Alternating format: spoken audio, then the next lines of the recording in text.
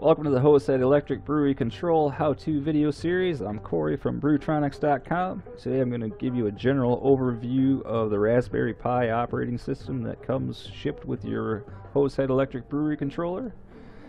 Basically when you plug it in and turn it on, this is what you're going to see. Got the main desktop screen here. Looks very fairly similar to uh, Windows or the Mac.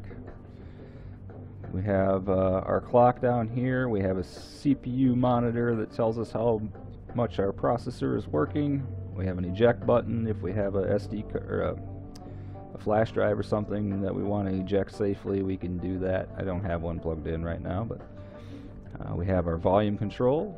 We have our internet connection to connect our Wi-Fi. We have a Bluetooth manager. We can turn our Bluetooth on and off.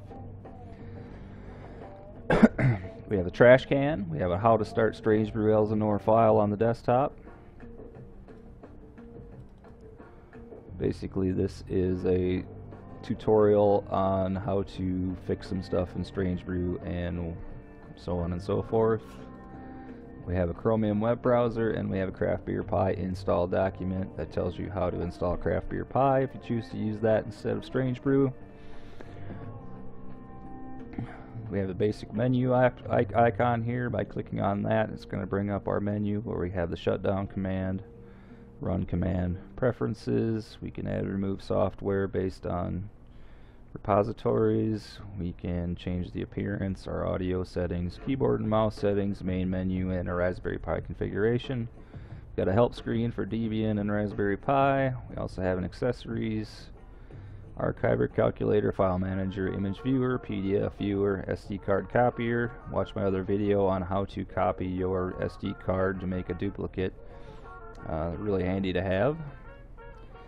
Task manager, terminal, text editor. Got a couple games, Python games, Minecraft. Uh, we have a mail.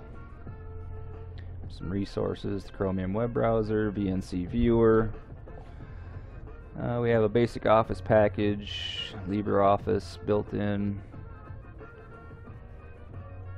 Also have some programming, a bunch of stuff if you'd like to learn how to program on the Raspberry Pi from the basics to whatever you'd like to create. None of this really pertains to brewing, but you can use it if you like. So that's basically the rundown of what is on the desktop, what is uh, on the controller. Watch my other video series on how to install Craft Beer Pi, uh, how to use Strange Brew Elsinore, so on and so forth. Hope this tutorial uh, helps somebody out there on the interwebs, and thanks, and have a great day.